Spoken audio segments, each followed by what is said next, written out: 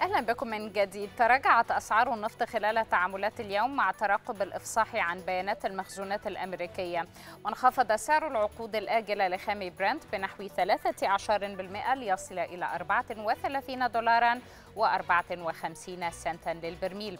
كما هبط سعر العقود الآجلة لخام نايمكس بأكثر من 19% ليسجل ليسجل 31 دولارا و66 سنتا للبرميل.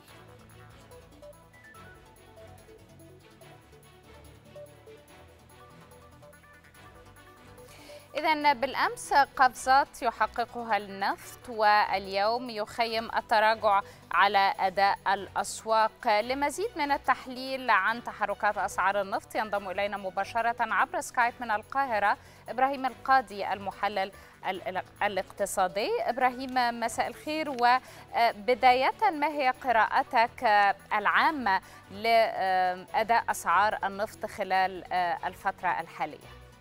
مساء النور أستاذة دينا واهلا وسهلا بحضرتك وبكل المشاهدين كل سنة وحضرتك طيبين. حضرتك بالنسبة بالسلامة.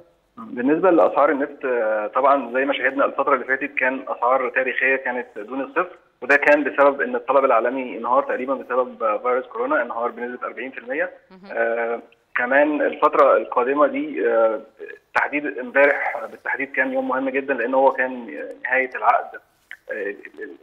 الأخير والنهاردة كان بداية العقد الجديد بتاع البترول كان الناس كلها متوقعة وكانت متوجسه إن سيناريو دون الصفر يحصل يحصل تاني. ولكن الأسواق قدرت تتماسك وقدرت كمان الأسعار توصل النهارده لأسعار 32 وده كان بسبب عدة عوامل. من ضمنها زيادة الطلب عالميا على البترول وده كان بسبب الافتتاح الجزء الاقتصاديات اللي موجودة في العالم في شرق آسيا في أوروبا في أمريكا. الدول كلها بدأت تشجع الدول إن هي تشتغل تاني.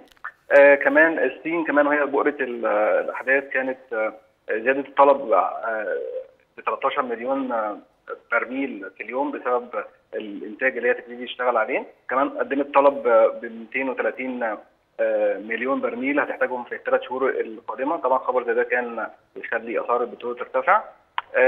الحزم الدعم اللي بتقدمها البنوك المركزية والدول العظمى للشركات وشركات البترول اللي هي بتحافظ عليها من الانهيارات والإفلاس. كمان كان سبب تراجع الإنتاج من النفط الأمريكي تراجع المخزون الأمريكي كمان بنسبه برقم 740 ألف برميل. ده كمان زود الطاقة الإنتاجية.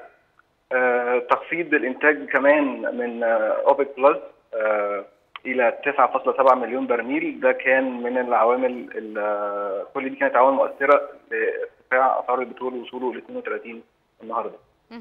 طيب آه إبراهيم آه طبعا من بداية الشهر الحالي دخل خفض الإنتاج حيز التنفيذ. خلينا نفهم هذه الإجراءات مع الأخذ في الاعتبار الخلاف الحاصل ما بين الولايات المتحدة والصين والذي شهد يعني شحنا جديدا. إلى أي مدى يمكن أن تؤدي هذه التطورات إلى تأثير سواء بالسلب يعني أو أو أو حتى تأثير مختلف على أسعار النفط؟ تمام. هو العلاقه مبدئيا ما بين الحروب وسعر البترول ما بقتش زي زمان. الأسعار دلوقتي الحروب مرتبطة أكتر بالملاذات الآمنة زي الذهب والدولار.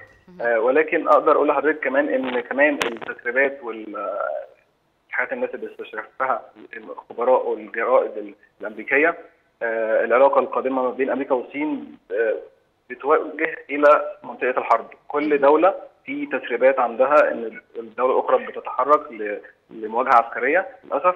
ويعني دوت اسوء اسوء سيناريو ممكن يحصل.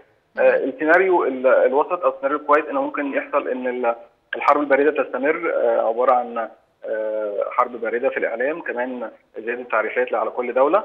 وإن شاء الله الموضوع ممكن يتحل كمان لأن الفكرة كمان مش موضوع اقتصادي الفكرة كمان إن المستقبل كله دلوقتي رايح لاتجاه ال 5 جي. ال 5 جي هيعمل نقلة نوعية في حياة البشر كلهم.